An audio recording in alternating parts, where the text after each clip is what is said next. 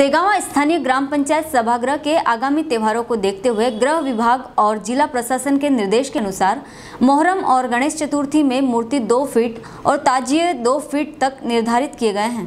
आयोजित शांति समिति की बैठक में पहुँचे एसडीएम सत्येंद्र सिंह एसडीओपी पिंटू सिंह बघेल, तहसीलदार राकेश बर्डे, टीआई सुनीता मुजालदे और चौकी प्रभारी राजेंद्र अवस्थिया की उपस्थिति में यह निर्णय लिया गया कि आप सभी को इस निर्णय का पालन करना होगा और घर पर ही सभी त्यौहार मनाने होंगे।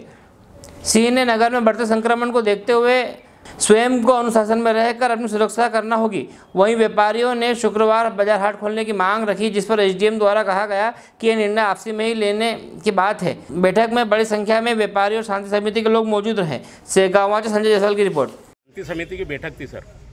क्या सुझाव दिए गए आपके द्वारा, सर?